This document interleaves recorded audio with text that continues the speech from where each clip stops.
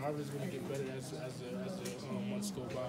Um, once he gets an offensive game and, and he's been working on that, he's going to be really good. You know, Dan, um, you know, that he's gotten a lot of respect in the league already, and so has Gabe. So, you know, they're sophomores now, and um, you know, I think they're going to be really good for this team.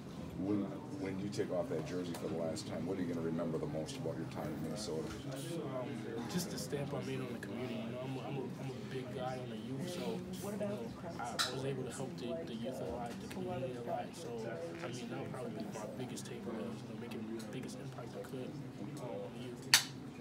You can you and Jordan. I mean, you guys are kind of you guys have been kind of through the thick and thin with everything. Jordan, whenever you look at his numbers, how do you think his legacy will be remembered? I mean, you played side by side with him. It's time to retire his jersey. You know, I wouldn't even wait if I was in school. He's he's done everything number two in scoring, so I mean, I just think it's time to jersey. I think it's time to every year. What he's gonna actually do is tremendous. What a sir. Um, just what any coach would say, you know, it's, it's a tough loss, especially you know when you, you scratch a claw back and then they hit big shots. So um, he just said, um, just talked about you know how, how, how good we, we did this season, how we proved a lot of people wrong, and, uh, and the team next year should have a lot looking forward. to, to preview, play the what if game in your head at all. But if Jordan is healthy, if Motts and Eric had been here, do you, do you play that? Not, not at all. You know, you can control what you can control, which is energy and effort. Um, you know, them going down, it, it does play a factor, but you know, you can't you can't play with them. How tough is it to, to play against Cassius?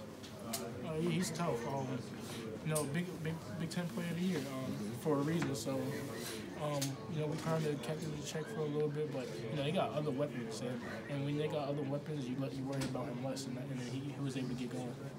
Amir obviously kept you guys in it. Obviously, you guys made a fight there in the second half. What was it? What did it mean just to come back and, and make that one last surge?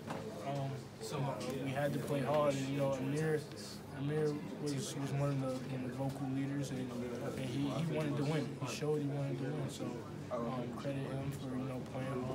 And he, he just kept us going. When you look at this team, there's some young guys that can learn a lot from this experience and hopefully take it into next year. What do you hope they they learn from the whole season?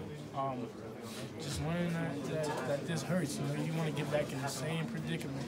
You want to get back in the second round and be able to be a good team again. So um, that's that should be the biggest takeaway from them. Is, just remember this in the back of your head for when you get here next year.